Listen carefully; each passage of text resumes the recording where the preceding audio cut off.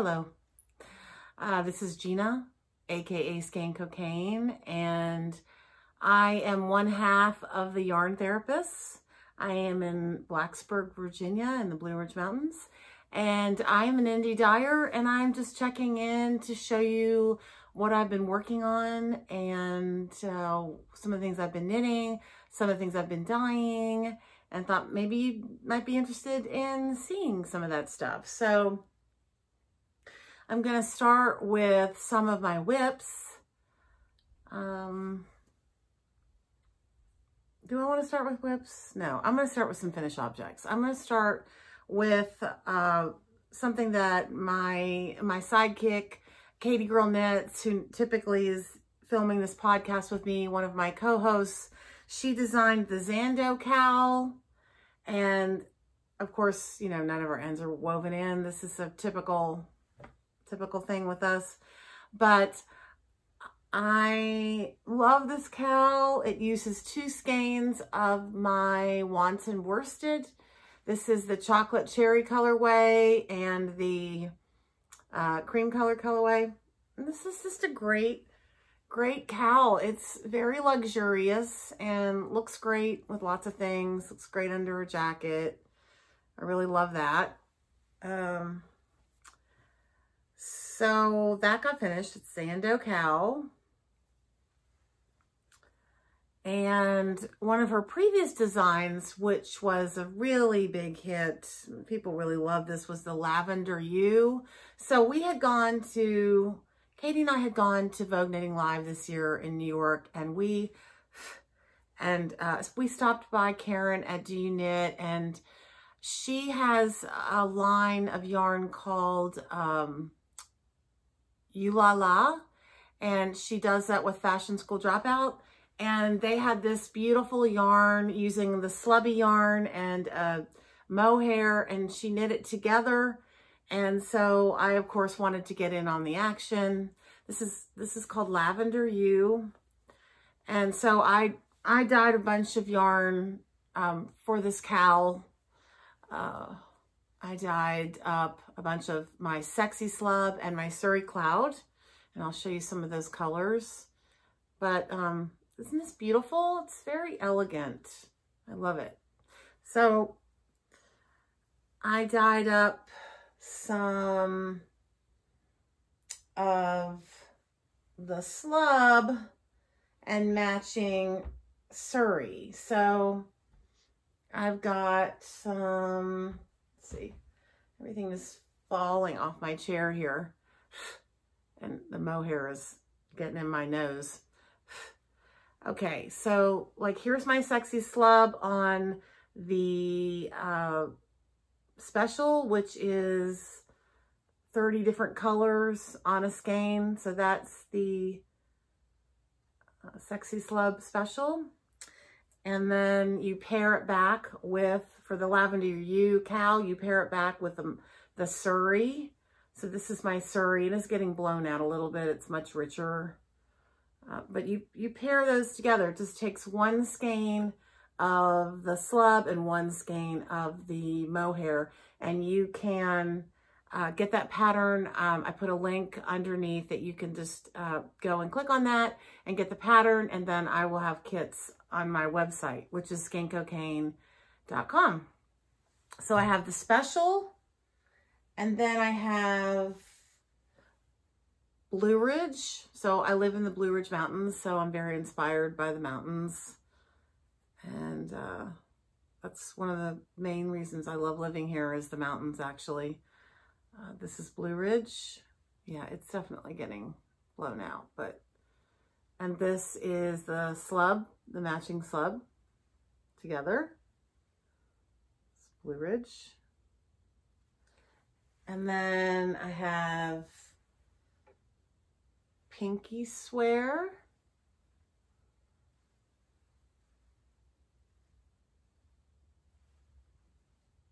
It's more that color because the closer I bring it, the more it gets blown out. So it's definitely more that color.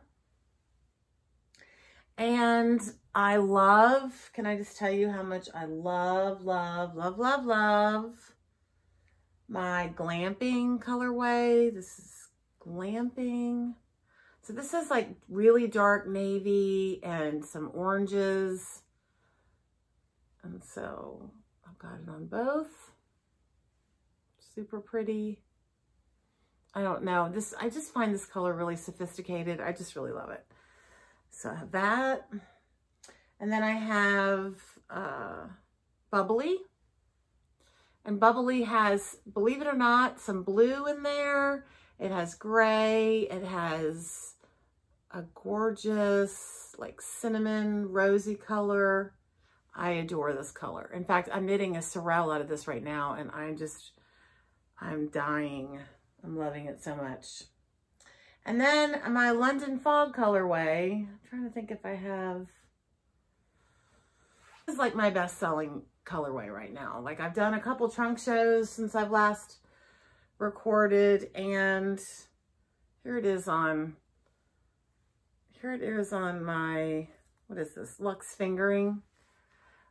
Um, it's a really subtle colorway and it has lots of neat colors, but it's very neutral. So like I'm wearing this sort of oatmeal color. It's very neutrally sophisticated, elegant colorway. London Fog is what this is called. So I have that in the slub also and the mohair. I don't know where my slub is right now, but I have it. And yeah, that's it for those. And then um, I have been, I, I got inspired at Vogue. Like one of the reasons that I went to Vogue, I didn't really need to go to buy yarn because I didn't really, I don't need yarn. I go mainly just to be inspired and see what other uh, people are doing. And I saw some yarn there uh, that just really sort of struck me. Like this is the kind of yarn I want in my life. So I could either buy it in sweater quantities from this person and pay retail, or I could figure out how she did it and I could do it myself. And that's exactly what I did. So this is my iconic colorway and it is a solid black, but it has these white speckles all the way through it. And what that will do is it creates like an all over kind of random speckle. But I could do this, you know, in my mind, I'm thinking about all of the combinations. Like I love a mustard color as an accent. So I'm thinking that I might dye the skein mustard and then dip it in the black and then I'll get mustard speckles on this game. And this is not an original thought. I know someone has done, I know I've seen that somewhere, but this, but it just, I want to make everything in this. I want to make sweaters. I want to make, oh my gosh, I want to make everything in it. I have a hat that I'm doing. I'll show you. I can't, you know, that's the thing about yarn is it's, it tangles up. It's everywhere. I mean, even my earbuds are always tangled up, right? Okay, so this is it knitted up. I'm making a hat for my daughter, which I don't know why I'm making it for her because I really want this. But it's too tight. Well, that's it's too tight, but um,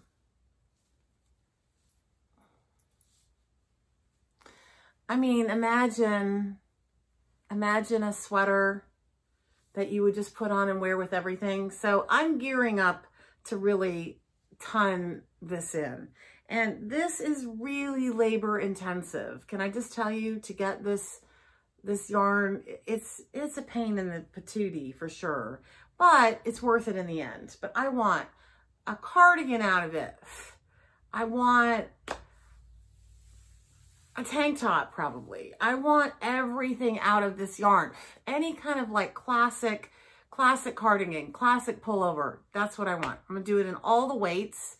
I want socks out of it. Oh my God, socks. And I think I actually dyed some sock yarn.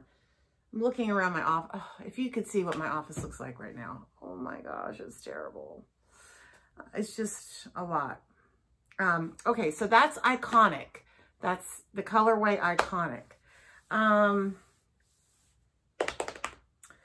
I'm doing, all right, let's sort of go into WIPs. I'm making the cat love hat.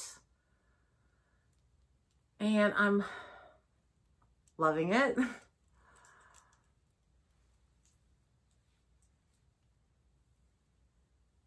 This is where I am.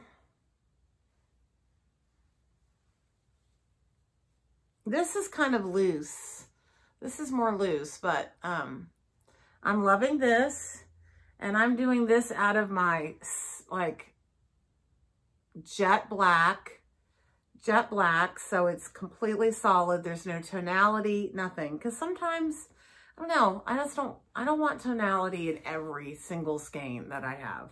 I mean, I mostly like tonality because I'm a hand dyer, but in general, I don't. Not, but I'm pairing that back with, um, this is my, um, what is this called? I want to say flesh, but that's not what I called it. It's not called flesh. Blush.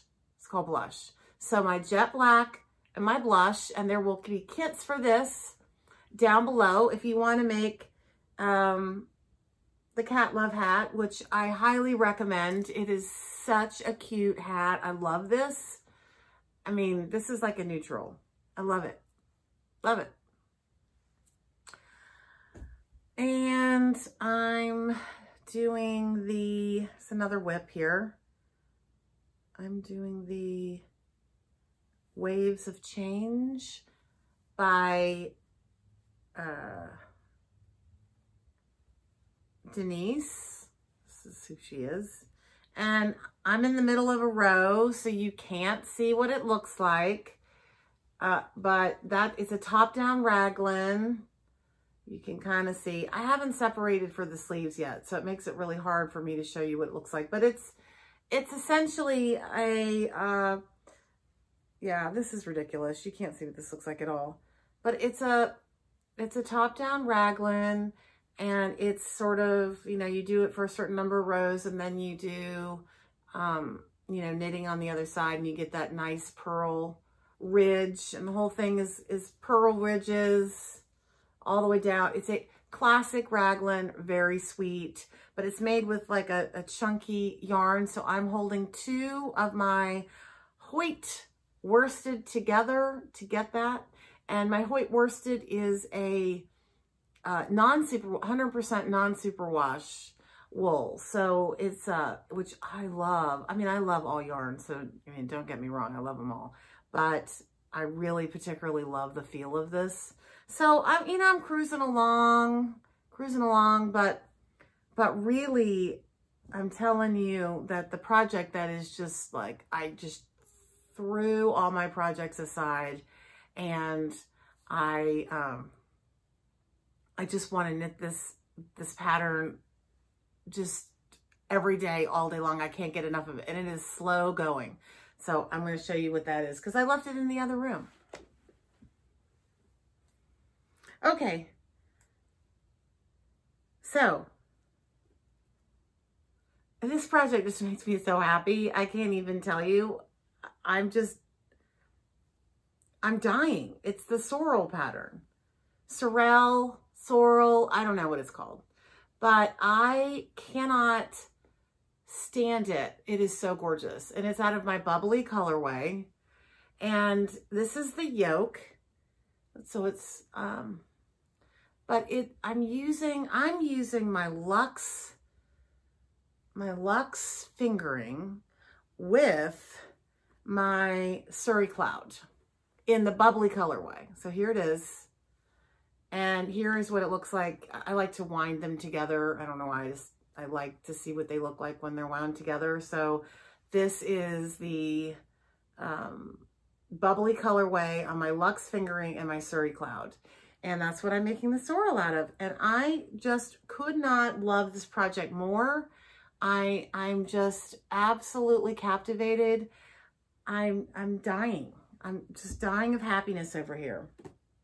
And so you say, okay, well, then you're good. Then you're going to just be working on that and nothing else. Well, no, no, no, no. I actually have got another project that is just my fingers are itching to cast on. I mean, I have severe, severe cast onitis, startitis, whatever you want to call it, for which there is no cure. I am non-monogamous.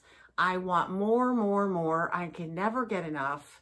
And I think it may be just the fact that I just get, when I get an idea and I just have to cast on, and I think that a lot of it has to do with, um, um, endorphins are just, I'm just all about endorphins. That's why I run every day. I mean, like to take baths and eat chocolate and all of that. It,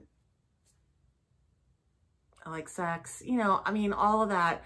I like endorphins. I like the little brain chemicals that come out. And I like to do it naturally. I don't like to do it with pills so or alcohol. So uh, I just, I, I get a rush when I think about starting a new project or starting a new book or it's, oh, it's rough.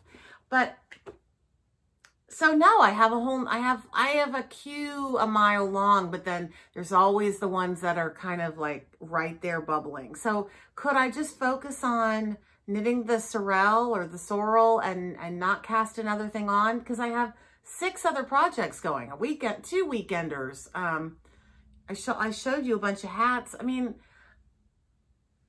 over there, there's a lot of projects, but I mean, I must have 50. I want to say 50, but I'm going to cast on another. So I have a new colorway and I have it right now on my, on my Hoyt worsted, which is my non-super wash. This is uh, Louboutin, which sadly I cannot wear Louboutins anymore.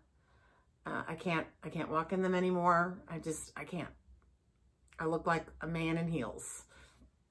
So this is uh, this along with my blush, and I'm to make the Papa by, uh, by Junko. I'm to make the Papa. I'm to wind my yarn today, and I'm to get started on that. So, you know, if I could just focus on one project, then I wouldn't, I would actually get something done. See, I rarely get things done because I get so distracted. So this is a really beautiful kind of blue red. You know, there's orange reds and blue reds. This is more blue. And I can't, I'm powerless. I'm powerless. I can't, I can't stop. So that's like a quick update. Um, I think the next time that you'll see me is going to be, um, I am doing a trunk show at the Knitting Coop in Salem, Virginia. That's March 28th. I'd love for you to join me.